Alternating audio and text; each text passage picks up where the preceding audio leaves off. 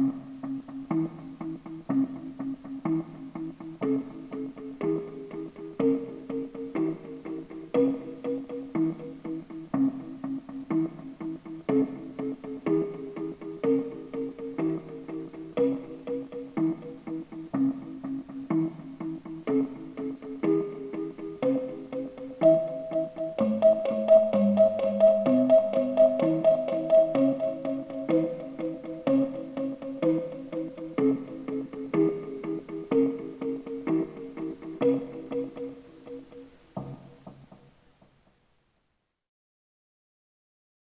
The CBS Radio Mystery Theater presents.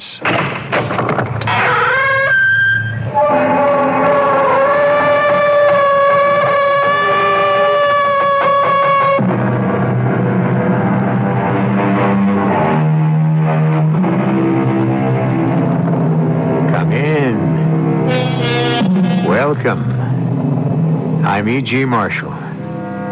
It's only fair to warn you that this is very definitely a haunted house. Yes, there's a good old fashioned ghost at large in these dark and dismal corridors.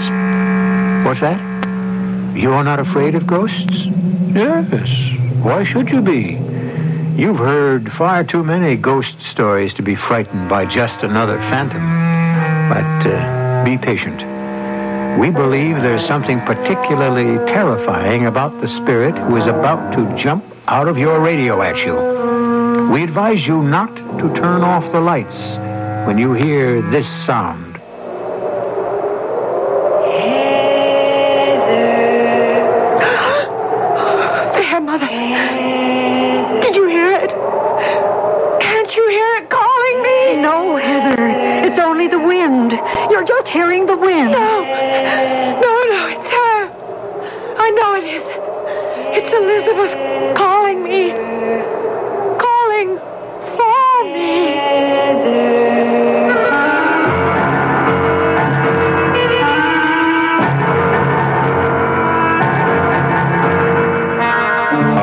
Mystery drama, You Owe Me a Death, was written especially for the Mystery Theater by Henry Slesar and stars Patricia Elliott. It is sponsored in part by True Value Hardware Stores and General Electric. I'll be back shortly with Act One.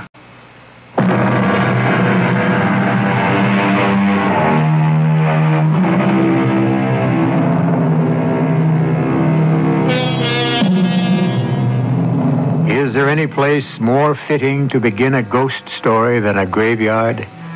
But no, the Avondale Gardens would never use such a stark and grisly term, for this is the finest and most elegant cemetery in the Midwest, according to their brochures. And only the finest, and may I add, richest families bring their dear departed to these peaceful grounds and manicured lawns. No swirling mist envelops the funeral procession which is now taking place. The sun shines brightly on the mourners, and yet something in the face of Irene and Daniel Weston would chill the blood of any passerby as they stand at the newly dug grave and solemnly stare at the white headstone. Elizabeth Weston, beloved daughter of Irene and Daniel Weston, born 1954, died 1976. Daniel, please. It's time to go. 22 years old, Irene. I know she was 22 years old, and I know she's dead. And that's enough to know. Is it, Irene? Is it? The car is waiting. Cooper's been waiting for an hour. If you want to go home, go home. And leave you here? How would that look? Your friends are all waiting for you, Irene, wearing their best mourning clothes. Go home. See them. Not without you. They can't wait to cry all over you, Irene. To show you how sad they can look. Don't spoil their fun. Oh, dear God, how can you talk to me like that? Now, in this place. Oh, I'm sorry. I didn't mean to. I, I don't know what I'm saying. All I can think about is her. There's no point in thinking about her. Elizabeth is gone. No, no, I, I don't mean Elizabeth. I mean her sister. We've already decided. There's no point in asking Heather to come home. You decided that, Irene. I still say she'd want to be here now. Oh, Daniel, it's over. There's nothing Heather could do here except, well, except what you're doing, wallowing in your own melancholy. Oh, yes. Yes, I know. That's how you feel. It, it's getting windy. I'm cold. Go home, I said. Take the car. I'll manage. All right. I'll tell you what. I'll write to Heather this evening. I'll tell her what happened. She can light a candle for Elizabeth in Rome. The city is filled with churches. Let Heather mourn her there. And you think that would take care of it? Yes, I do. You're wrong. Heather would want to be here. She was Elizabeth's twin. She loved her sister. How could she love a sister she never saw? All right, Daniel. If you want to struggle home by yourself, I'm leaving. Goodbye. Irene, Yes. you're afraid to have Heather home, aren't you? What? You're afraid of her questions. Goodbye, Daniel. Oh, Elizabeth. Elizabeth. Poor little girl. Forgive us. Daddy. What? Daddy. What, what am I hearing? Daddy. Uh, Elizabeth?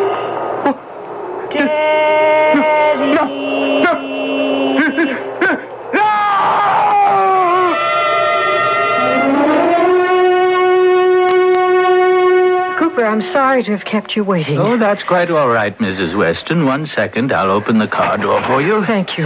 Isn't Mr. Weston with you? No, he's decided to stay there for a while. But uh, how, how will he get home? I'd say that's his concern, wouldn't you? Oh, uh, yes, ma'am.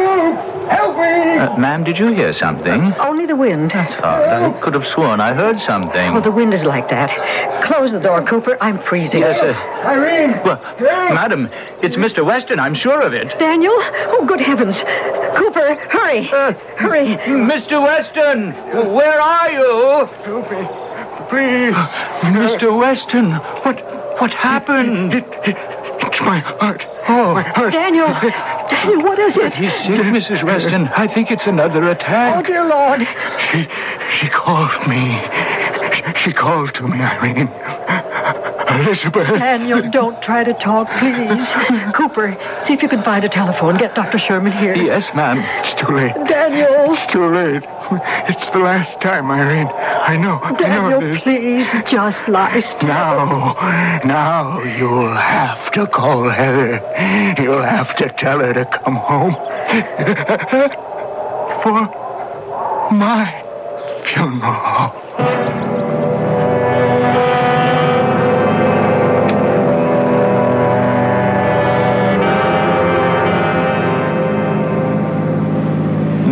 I've never been to Europe myself, Miss Weston, but my wife says soon as the youngest gets herself married, who knows? They've uh, widened this road, haven't they? oh, yes, three, four years ago.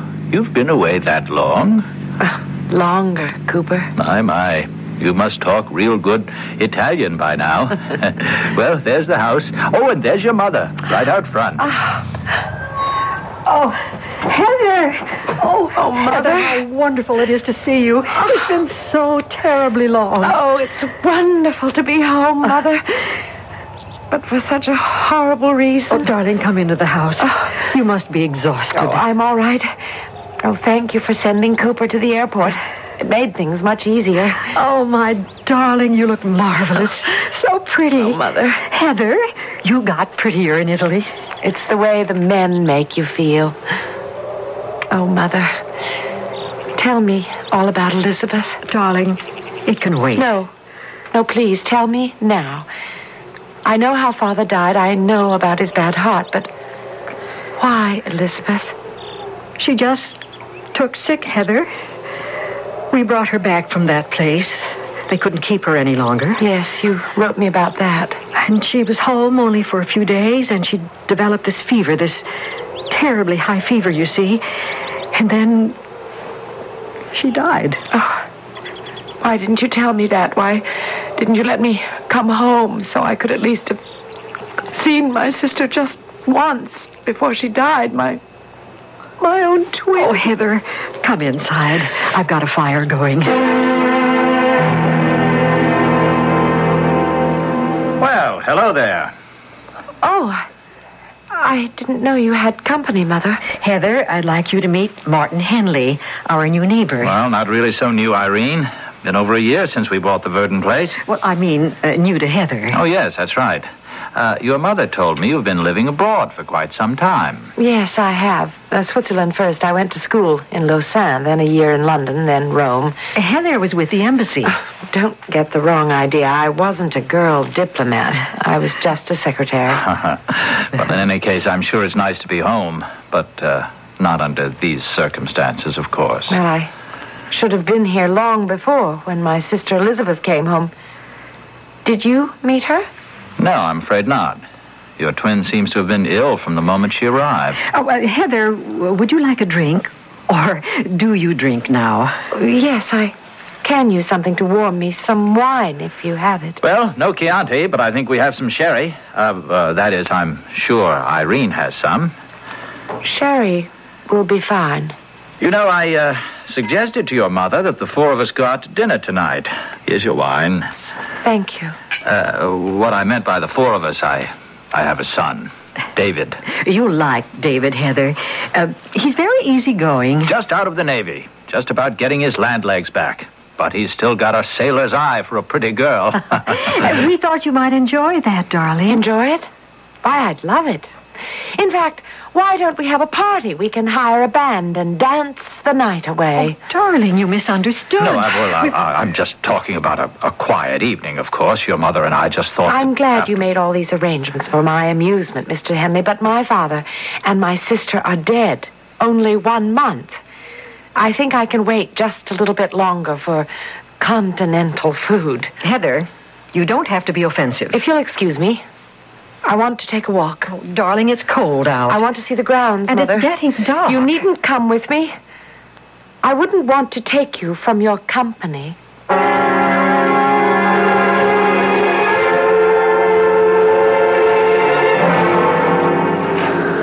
Ah, the old stone bench. Hmm. I haven't sat in this bench for ages.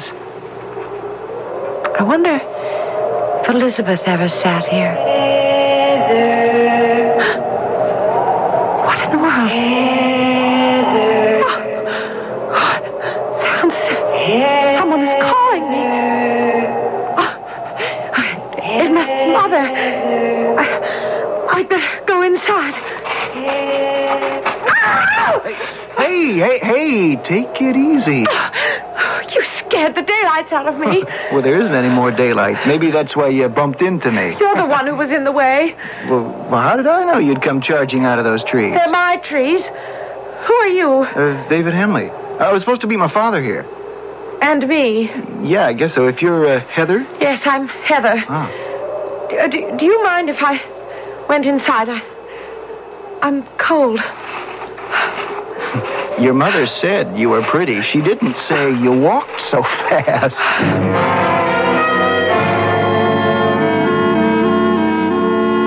You want the truth? I'm glad that Dad and your mother went to the Red Barn by themselves. I hate the food there. Too, continental. For my taste. Give me a hamburger anytime. Does that bother you? Oh, I haven't seen a real American hamburger in four years. Oh, wait till you try mine. In the Navy, I was known as the barbecue king. Your father was a Navy man, too, wasn't he? Hmm? How'd you guess? Mm, he looks like the type. Is your uh, father widowed? Yep. All he's got's me. So you're an only child. Huh. I might as well have been an only child. I never saw my twin sister. How come? Oh, well, she wasn't well when she was born, some kind of congenital ailment. She had to be in hospitals, sanitariums, uh, places like that. Hmm. She didn't die in a hospital, though, did she? No, no. No, when she was 21, she, she was allowed to come home. Oh, I see. I sent her a present here. A welcome home gift. It was an antique locket I found in Naples, the kind with room for two portraits. Mm, yeah. I took two identical photos of myself and I. I placed them inside. Oh. Hey, you're pretty emotional about this sister of yours, aren't you? Why shouldn't I be? The reason's too obvious to mention. Because I never saw her. You got it. Oh, but you're wrong. I did know Elizabeth. How could I not know her? She was the other half of me. What? Well, don't you know the theory about twins? That, that they're the same person, divided in half? Only an accident of biology separates them at birth, but they can't ever be truly separated. Hmm. Sounds pretty romantic. like most legends. I think the legends are true. I honestly believe there were times when Elizabeth felt my joys and my pain, and I hers. I, um. I think your hamburger's ready. What do you want on your hamburger? Oh, well, everything you got. Onion? Lettuce and tomato? Uh-huh. Pickle? of course. Ketchup or mayonnaise? Both, Bo- please. Both? you mean it? I said everything, didn't I? your burger is 12 inches high. I can manage it. Watch. And you see what I mean? I told you I was starved for a real American hamburger. You've got ketchup all over your mouth. Do I? Oh, where's the mirror? Uh, it's, it's over here. Oh, that's not the only thing with the way I the way I look. Why didn't you say something about my hair? Look at it. Oh, it's just a little wind blown. Oh, that was the strangest wind out there this evening. That's why I was running. The wind and something else. What else? I don't know. I... Oh, forget it. you know, every time I look in a mirror, well, I don't know if I'm seeing myself or Elizabeth. Well, now that my hair's combed, I guess I can finish my hamburger. Yeah, you... Good Lord. Well, what's the matter? The mirror. What about it? Oh, it, it must be the light or m- my eyes or something. I've, What do you mean? well, I could swear that when you walked away from that mirror, your face was still there.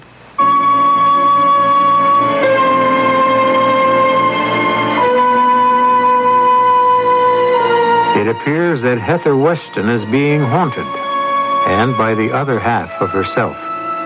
But what does Elizabeth Weston want of her sister? They say that ghosts only return to Earth because of a deed undone, a promise unfulfilled, a vengeance unobtained. What force has brought Elizabeth's restless spirit back to her home? And is that force one of good or evil? We'll learn more when I return shortly with Act Two.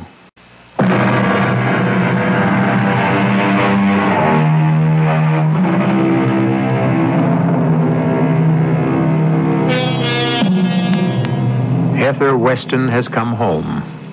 Home to a mother whose mourning period for her dead father and sister seems to have been abbreviated. But Heather cannot forget their existence that quickly. She knows that there is still a mystery to solve. And if she didn't know it, her sister's spirit seems to be determined to remind her. Heather? Are you in there? Yes, Mother. What on earth are you doing in here? Just looking around. Didn't you say that Elizabeth used this bedroom? We did have her in here for a few days, but she seemed so unhappy that we moved her to the middle bedroom, your old room. Oh, well, then maybe that explains it. Explains what, dear? Why, I can't find anything. Not the slightest thing that belonged to her.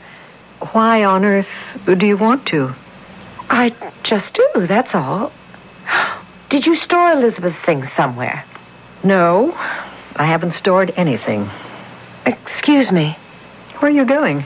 To look in the other bedroom. Heather, wait. He- Heather, what's the point of all this? You won't find anything belonging to Elizabeth. I won't if I don't look. Well, darling, there isn't anything to find. She brought almost nothing with her from that place. Mother, she had to have clothes. She had to have personal belongings, books, records, a diary. Well, everyone accumulates things, Mother. Heather, let me save you the effort. There's nothing of Elizabeth's in this room either. Not here, not in the whole house. But why? Why was everything taken away? There was so little to begin with. There had to be something. Well, she wore clothes. She wasn't an animal. Or did you have to burn them? Was it that sort of illness? No, darling. A fever. Nothing contagious. Then why is everything wiped away, scrubbed so clean of her? I mean, you'd never know that Elizabeth existed. Oh, she existed. Briefly, but she was here. Then why. Why did you do this? Why did you remove all traces? Because there are some things in life that don't call for souvenirs. Oh, yes. I understand. Oh, wh- what's this? Oh, the drawer doesn't close all the way. It, it's because something's stuck in the corner. Ah, oh, there. There, I've got it loose. Mother, look. It's the locket, the one I sent her from Naples. Yes. Oh, so you did give it to her. Yes, I, I did, darling. Or I tried. Why? D- didn't she like it? Well, for some reason, she was afraid of it. Afraid? But why? I don't know. I don't. I told you that Elizabeth was strange sometimes. Do you suppose it was the identical portraits? Well, perhaps. Oh, Mother. That was it, wasn't it? Those photographs must have seemed so disgustingly healthy when when she was so ill. You may be right, Heather. Oh, so the only memento I have of my sister is the one I sent her myself.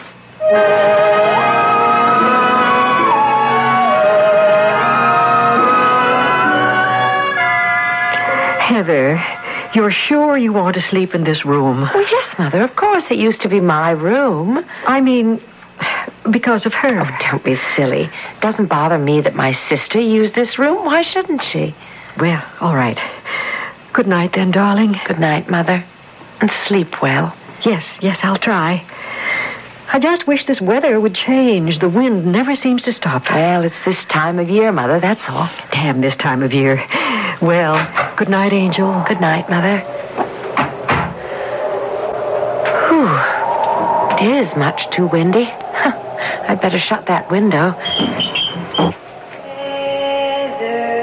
Oh. Oh. There it is again. I do hear it. I, I do. There's someone out there calling my name. Oh, how horrible. Maybe someone else can hear it too. I, I've got to find out. Oh, oh, the door is stuck. Why doesn't the door open? It's locked. Good Lord, the door is locked. I, I can't open it. Why, why would Mother want to lock me in? Mother! Mother! Can you hear me? Mother, please, open the door. I can't get out of my room. Mother! I'm frightened. Oh, it's going. Oh, thank heaven the voice is going away. Ah! The door. Oh, that light. That light behind it is blinding. Ah! Ah, it's her. I know it's her. She wants to come in here. No, Elizabeth, no, don't, no, I'm too frightened. Elizabeth, I'm your sister. I'm Heather. Ah, why doesn't somebody else hear it? Why doesn't somebody help me? No, Elizabeth. Don't, don't come in. Don't. I'm, I'm your sister. Look, look, I can prove it. The locket. Elizabeth. Look at it. See, I have the locket.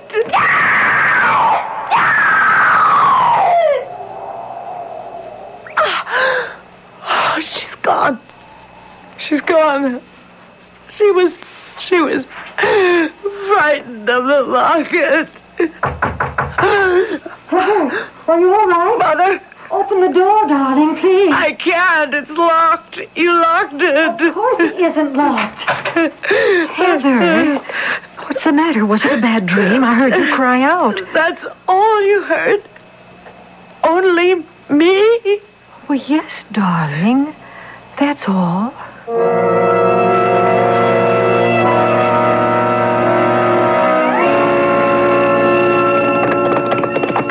Much riding in Rome? Not enough, I guess. Oh, why do you say that? Because I'm saddle sore. you want to walk for a while? Oh, if you don't Oh, mind. of course not. We can just uh, walk them across the field. I'm sorry. I told you I wasn't going to be much of a riding companion. I'm just feeling too depressed. You're not depressed. You're haunted.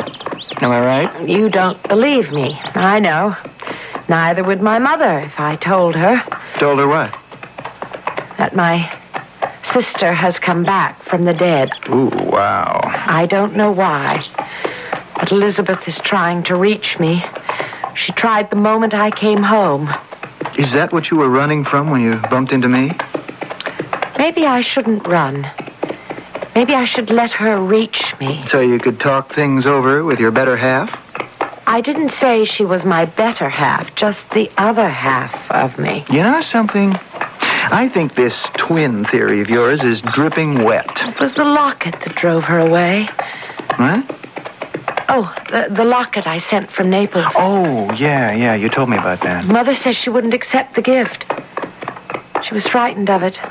Frightened her away last night, too, when she tried to get into my room. Well, they drive vampires away with crucifixes or a string of garlic. I'm not going to do anything at all to drive Elizabeth away. I'm going to let her come to me. Hmm. That idea doesn't scare you? She's my sister. No. Can I ask you something? Yes? If you're not scared, then how come you're wearing that locket?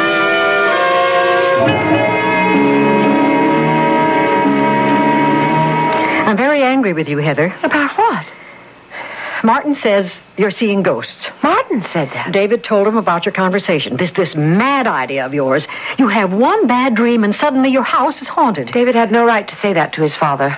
So it's David's fault. This was none of Martin Henley's business. But it's my business when he thinks my daughter is capable of believing such nonsense. What does it matter what that man thinks? It matters to me. If he thinks I have another feeble-minded daughter in my family. Mother, Oh, Heather. I, I didn't mean to say that. I didn't mean it. Oh, I- it's, it's all right. Uh, that was dreadful. I, I shouldn't have no, said it. no, no, no, it's all right. Dreadful.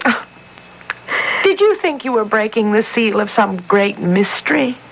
You weren't. Yes, but you couldn't know. Don't you think I guessed long ago what was really wrong with my twin sister?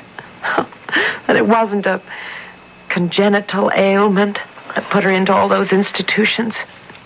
Yes, I guess that you knew. We went through all those years fooling each other, and neither of us being fooled. I knew there was something wrong with her brain, but do you think it made me love my twin sister less? Didn't it? No, Mother. And I know you didn't love her less either. She was always a baby to me, Heather. The child inside her was never lost to me. Until the day she died. She called me Mummy.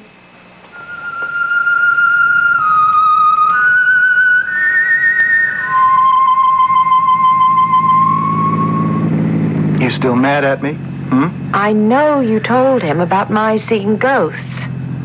Mother was terribly upset about it. She thought I'd just about ruined her chances. Her chances for what? Catching herself a new husband, of course. Don't tell me you haven't figured that one out. Yeah, guess I had some inkling. Well, don't worry about it. You're not about to get a new sister. The last thing I want you to be is a sister. There isn't the slightest chance.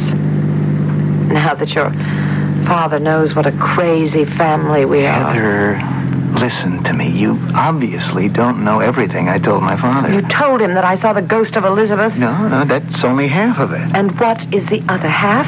I told him that I believed you. You what? I believe you, Heather, because I saw her too. Remember that night we were having hamburgers? I saw your dead twin in the mirror. I thought you said it was your imagination or, your eyesight. I've never believed in ghosts before. But I'm willing to have someone prove this one exists. But how? That's what I wanted to talk to you about. It, have you ever heard of a woman named Margaret Collodi? No. No, who's she? Well, she was a famous medium in her day. Now, I don't even know if she does this sort of thing anymore, but when I heard she'd settled as close as Fairmont Village, I thought it was worth calling on her. So that's why we're going there. Mm-hmm. Is that all right with you?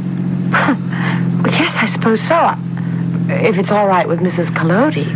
Well, to be truthful, she didn't sound especially glad when I told her the point of our visit.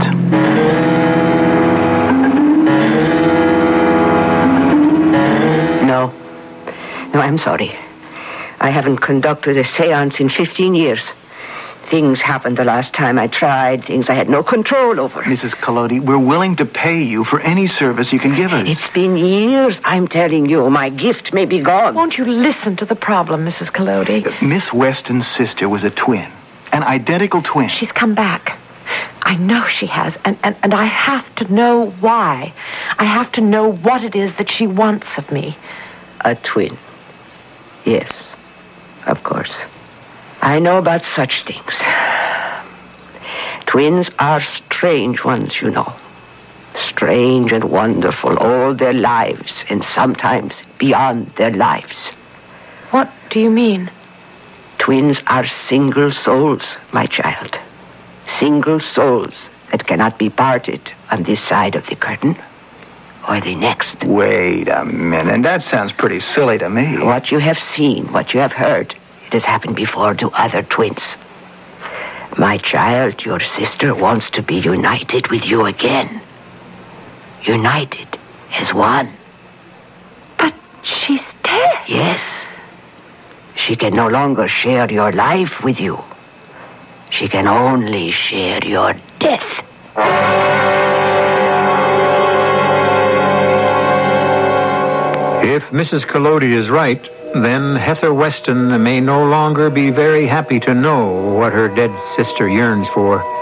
No matter how much she may want to see Elizabeth, Heather is perfectly willing to wait another 60 years for the pleasure of reunion.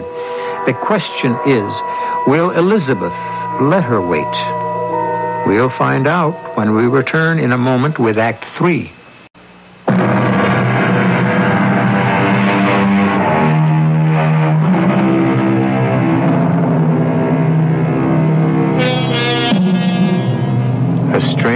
Scene is taking place in the Weston house this evening. A circle is being formed in the living room. Irene Weston and her daughter Heather are sitting with Martin Henley and his son David. And all of them are watching an eccentric old lady named Margaret Collodi. But they're not here for purposes of ordinary conversation. This little group has gathered in the hope of talking to the dead. Well, let's get this nonsense over with. Mother, please. Uh, Mrs. Collodi, uh, tell us what we have to do. Do we uh, uh, join hands or. First, there must be darkness. Of course. All mediums have to work in the dark, don't they? Mother, give the woman a chance. I warned your daughter. It's been many long years since I tried to contact the spirit world. And even when I had my powers, I had little control. Now, wait a minute. What does that mean exactly? Things would happen. Evil things sometimes. Oh, for heaven's sake. David, please turn off the lights. Oh, sure. Now, we decided to do this thing. Let's do it. There. And now, what do we do? Now,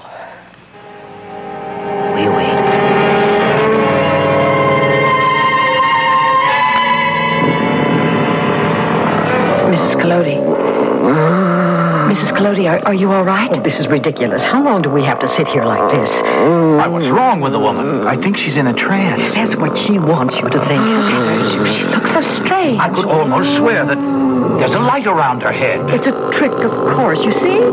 She said she wasn't going to play any tricks. Mother, shut up. Mrs. Weston. It's true. There is a light over Mrs. Collodi's head. I could almost swear. It's a face. I I've had enough of this. There is. There is a face. David, David, it must be her. It must be Elizabeth. No, no, it, it looks more like the face of a man. Good Lord. It, it is a man, Heather. Oh, no, David, it's my father. Irene. Irene. She's calling your name. Stop it! Stop it! Stop it! Stop it! I can't stand it! Art, let go! I can't. it! I can't, Irene. I can't let go. I Killed can't. Stop her for the love of God! Turn on the light! David, do as she says. Mrs. Collodi! Oh, David! David, she's fainted! Never mind her. Take care of your mother. Mother, are, are you all right, Mother? Please. Oh. Please, Mother, look at me, please. Yes, yes, I'm all right. It was my father. He came into this room. I, I saw him. Only, what did it mean? What, what, what, what was it he said? He said, You killed her. What did he mean, Mother? He meant that I killed Elizabeth. What? It's true. I did it. I killed my daughter.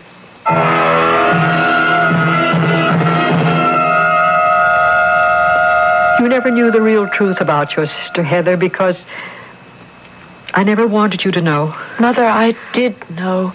I told you that. I knew that Elizabeth had some kind of mental deficiency. Yes, she had the mind of a child, but her body. Irene, it's only natural. The body grows and changes, even if the mind can. No, no, you don't understand. Heather, you think you've seen your sister, seen her ghostly image looking just like you. Yes, I have. But your ghost is only in your mind. You've seen Elizabeth the way you imagined her to be, perhaps as she sometimes imagined herself. But they were identical twins, Mrs. Weston. They were born at the same moment, but they were not identical. Heather, your sister was different. Some accident of biology. You mean malformed in some way? She was twisted, cruelly twisted. Her spine, her face. Oh, dear Lord. How you romanticized her, darling. There were times when you had me believing that Elizabeth was the mirror image of my lovely daughter. But then we'd visit her in one of those institutions, a place where we had hidden her away from the world. But what did she know of me? She thought about you all the time, with both shame and fear. That locket you sent her, it terrified her because she knew it wasn't her face. Irene, what did you mean before? You didn't really kill this poor creature. You said she died of a fever.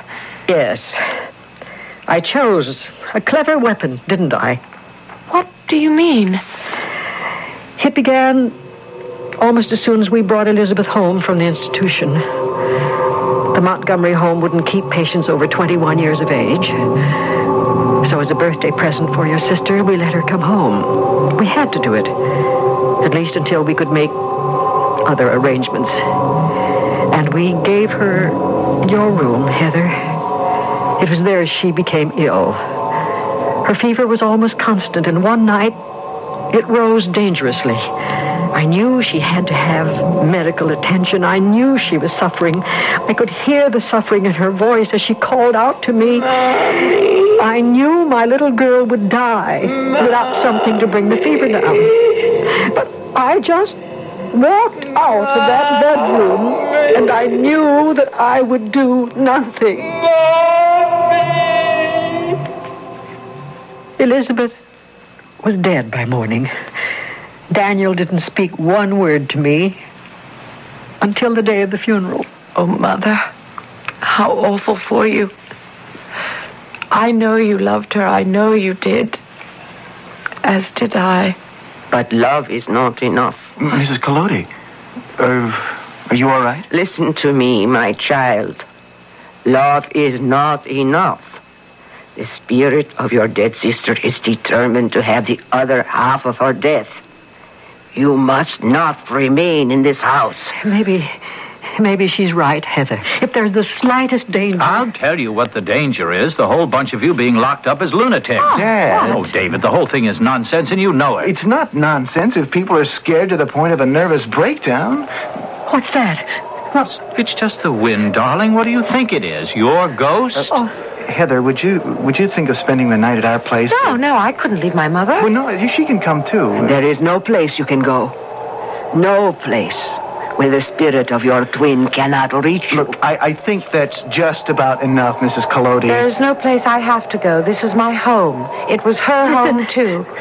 listen. I, I thought I heard something. You heard the wind, Irene. Oh, no. More than that. A voice. A voice in the wind, Martin. It's too easy to hear voices in the wind.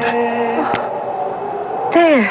I heard it. I know I heard it. I, I didn't hear anything. Maybe, maybe you can't hear it the way I do. Heather. Heather is calling your name. I hear it. Good Lord, you people are making me hear it now. There, it's Elizabeth. She's outside. No, no, no, no, no. Take it, take it easy. She wants me out there, David. Don't you see? Yes, She wants you. She wants you to come to her. Then I'm going. No, Heather. I'm not afraid, Mother. Heather, come back. I'm not afraid of my Mrs. Weston, stop her. Don't let her go out there. Heather. I'm here, Elizabeth. Heather. Yes. Come. Heather, where are you? Heather. Come to me. Oh, Make us one again. no, Elizabeth. No, that cannot be. We cannot be one. Come to me. No, I'm alive, Elizabeth. Can't you see? Come to my arms, my sister. Heather, don't touch it. For God's sake. Elizabeth, let her alone. Elizabeth, it's me. It's your mother. Mommy. I'm sorry for what I did, Elizabeth. I'm sorry. I'm part of you too, Elizabeth. Mother, don't.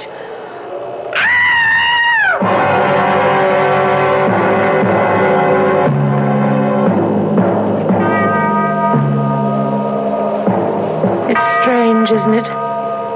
When I first arrived back home, I kept telling myself that I should go to the cemetery. It's not my favorite place, personally. I just thought that I should do it, that I should visit the graves of my father and my sister. But I couldn't do it. I'm not so sure you should be here today, Heather. Not the way you've been feeling. But I have to be here, David. This time, I have three graves to visit.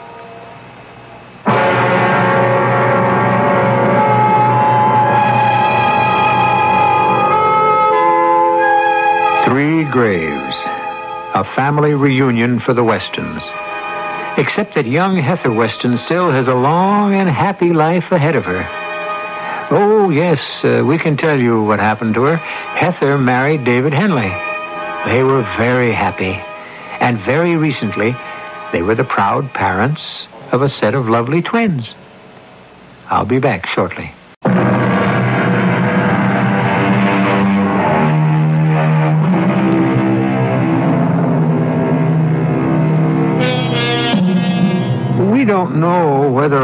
Story has made you believe in ghosts, but then how can you not believe?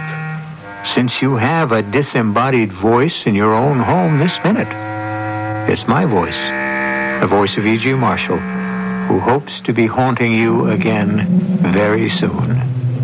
Our cast included Patricia Elliott, Vicky Vola, Russell Horton, William Redfield, and Ann Pitoniak. The entire production was under the direction of Himan Brown. And now, a preview of our next tale. Now, what did the cable say? Not that I do not know already. Dig again under cherry tree new information about golden cups. Ah, ah, information. We have had no information about the gold cups, nor will we ever have any. The girl bringing the daffodils, calling them golden chalices. The dream she had about the man saying first, kiss me, and then, you are a pest, which adds up to kiss pest, where our gold cups were buried beneath a cherry tree. Then your Miss Roth shows up here with a cherry tree branch? You call that information? Making wild deductions from dreams and pieces of words and chance gifts? Hans, the girl knows something. Or she doesn't know that she knows, heavens. She was not even born when we buried the gold cups beneath the cherry tree in Keyspesh, but she knows something. Radio Mystery Theater was sponsored in part by Buick Motor Division and Anheuser-Busch Incorporated, brewers of Budweiser. This is E.G. Marshall inviting you to return to our Mystery Theater for another adventure in the macabre. Until next time, pleasant dreams.